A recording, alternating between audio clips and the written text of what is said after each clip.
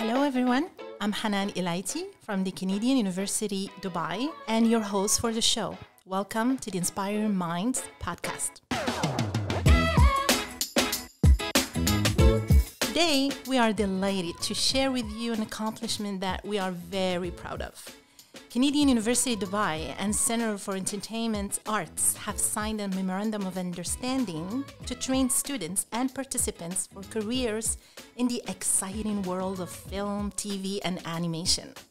In this podcast, we will walk you through how this partnership will be beneficial to interested participants and students. We will also dive deeper into the fascinating work of gaming and animation and see how this industry will shape tomorrow's world.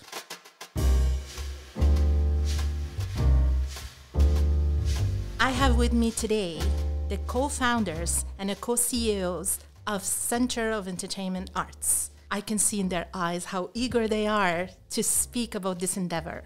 Peter?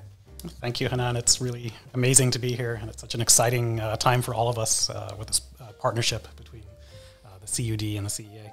So, my role is as the co CEO and co founder of the Center for Entertainment Arts. Um, and I look after things like the academic quality, the curriculum. Hi, my name is Diwakar Gandhi. I'm the other co founder and co CEO at the Center for Entertainment Arts.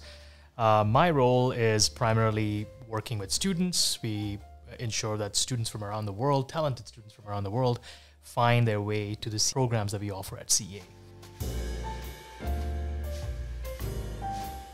Peter and I have been working on our dream to be in Dubai as, a, as an institution for, I would probably say, about six years or so right now. There's so much talent in the region that would love to be in, you know, in this industry, eh, working in animation, visual effects, or game development. And uh, this is their opportunity to be part of that industry. And uh, what better way to do it than partner with CUD and, and do it right here timing. in Dubai? Absolutely. Where did this dream start? Tell me the story of your success. My background was in the entertainment industry. I worked for the longest time uh, on many big products. And what I found, and what is well known throughout the industry, is that there's a huge need for talent, a huge need for new people to enter the industry uh, there's not enough people out there. So what we wanted to do with the CEA is create world-class studio-style learning, so that the moment they graduate, they start working. The studios don't need to retrain. To exactly, right. exactly, right.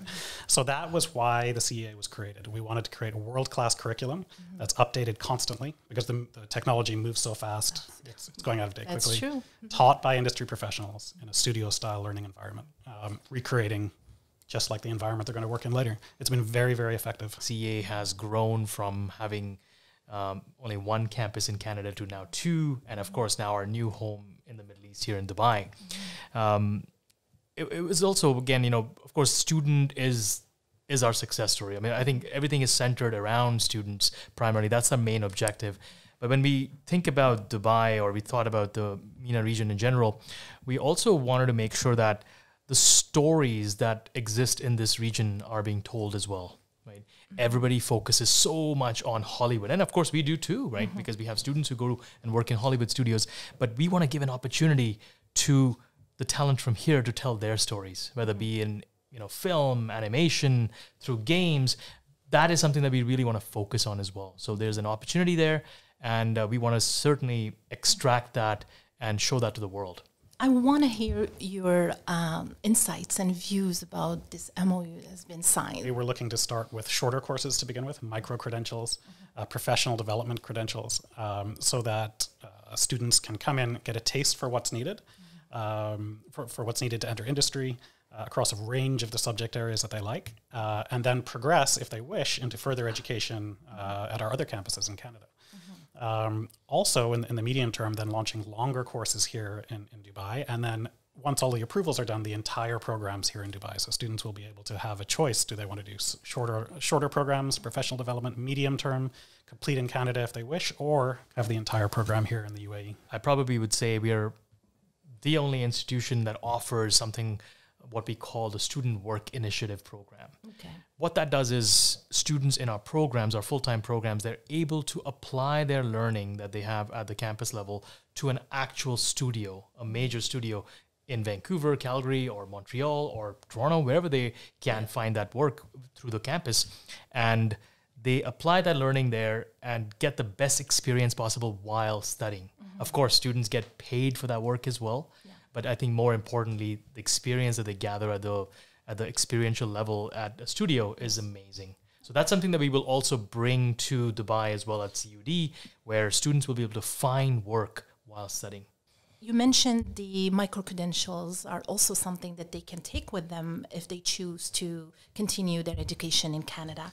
Um, are you also supporting placements in Canada? Yeah, absolutely. So the, the uh, when the student starts in Canada, mm-hmm. uh, we have a, a, a, teaching style that starts in a more instructor-led way, mm-hmm. and as the student progresses through the program, it becomes more and more student-led. Okay. So as the student becomes specialized in different areas, they get to choose. Maybe they want to be an animator or a lighter or a rigger or a programmer or whatever it might be. As they get to the end of their time, uh, they start working on projects specifically in that area. Mm-hmm. And we bring in mentors to help the students from studios that are really specific in that area. Mm-hmm. And as they develop their portfolios, uh, our staff and these mentors and our entire team of industry experts helps to recommend these students into jobs. So our placement rate wow. is very, very high. I think we got to n- over 95% of the last graduated class were had job offers that were accepted before they graduated. That's a powerful number. Yeah. It is. Yeah. And it feels like it's a whole village mm-hmm. focus on one student. Exactly. Success. Yeah. The, uh, the people we work with, they work so hard and they make yeah. such amazing projects. And so many of them had such a difficult journey into the industry because there was nothing like CEA when they started. Now they give back and they get so much enjoyment out of helping the next group of students become That's the next yeah. creative makers.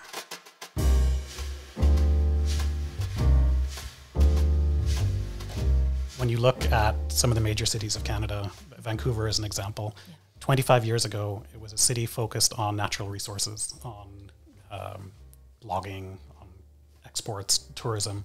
Um, not hugely different from Dubai, which is very used to be a very natural resource and tourist based. And now it's the one of the centers of the world for technology and entertainment. And that happened because uh, a small number of games and movies came to Vancouver and started to be created. And then they spawned other movies and they spawned other movies and other games. And it became this massive, massive industry to, to now when uh, they together eclipse everything else combined in the city. Any movie that you can think of, right? Pick whether it be Deadpool, Marvel series, the Game of Thrones, Mandalorian, they've been touched by Vancouver. So that's something that we have to understand because that's how much potential Vancouver has. There's probably over 40,000 artists who or technical artists who work in that industry today in Vancouver alone. It is a very important piece of our economy. And of course, I think uh, this is where Dubai is heading as well. The mandate is here to diversify economy in the creative arts industries. And uh, this is there's no better time than now to do it.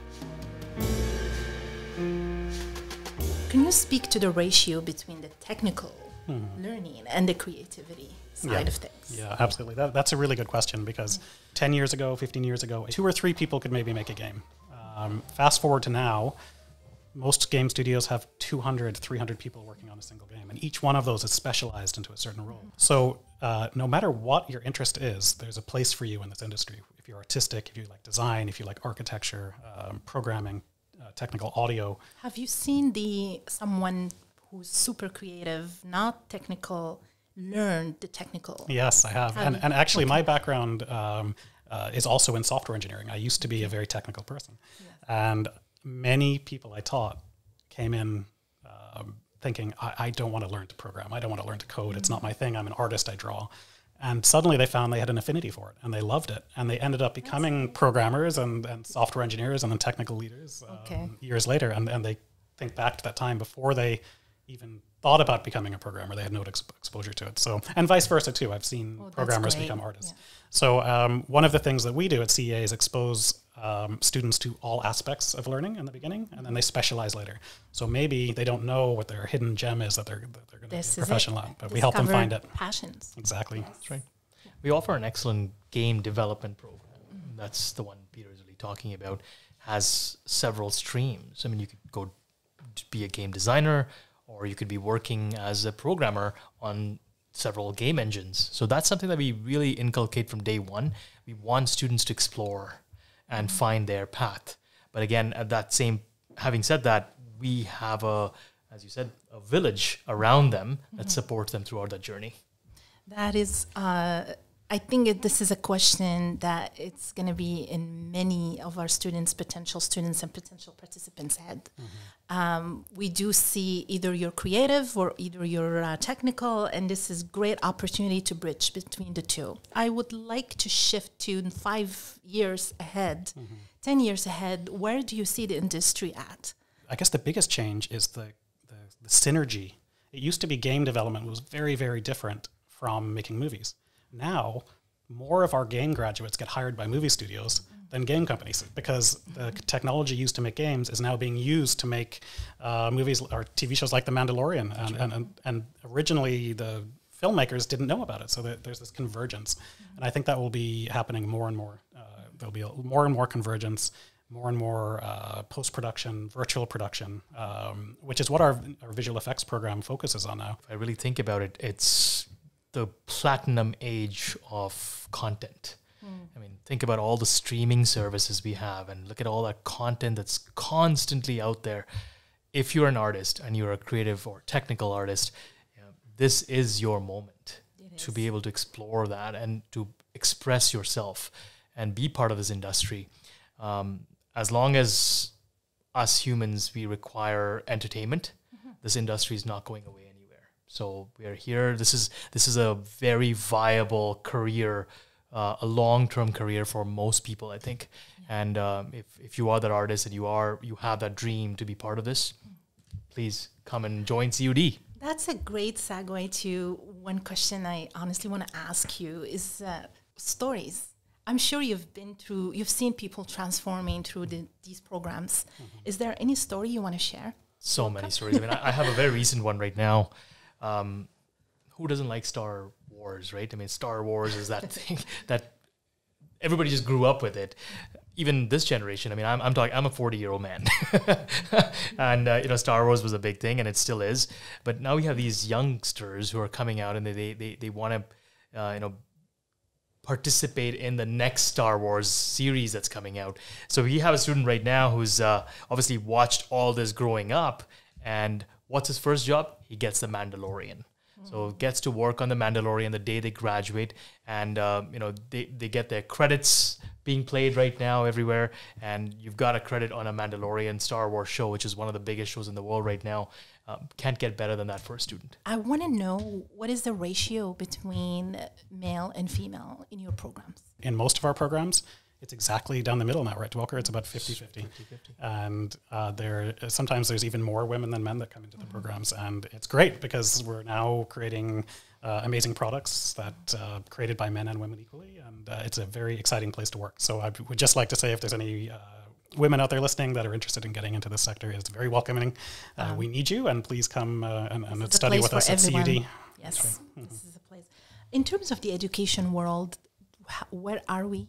What are we shifting to? I think uh, in general education is, I really believe in our model. It's the um, learn from people that do, Okay. right? It's a very technical, very skilled field. Learn from them. And that's what, how we teach. We bring in those experts, they, they do the knowledge transfer. And um, compared to someone that is very, very knowledgeable in theory on a certain topic, but if they haven't created a movie, if they haven't created a game, they can't convey exactly just it's it's such a crazy world to get into and unless you've done it it's hard to teach but if you have and that's what we want students to be exposed to um, it, it, it's a different level of knowledge that's conveyed so for me i think in future i, I hope to see more and more of the world move towards this um, applied learning studio style learning industry professional learning Diwakar? I think You I'm covered not it? quite sure what more to add to that one. That was Okay. really good. yes, it was good. that that is our model, and uh, and we truly stand by it. I, I think again, it really comes down to that model is demonstrated with the success that students get. Students are getting jobs before they graduate, so we must be doing something right. I think you are. what I'm hearing, and we've been working together on to bring this to reality for uh, the Middle East, for Dubai, for the world. Um, what I feel and what I want to say to the listeners that with the micro credentials training that is one week long and it's in and out and you can see maybe there are some hidden passions that we will discover and you will discover. At the end of the day we are here to infuse the passion dedication and skills onto uae and the world thank you so much for joining me today Thank you. It's a It's Thank you very much. with amazing. Really, really Thank do you. appreciate it. my pleasure Thanks.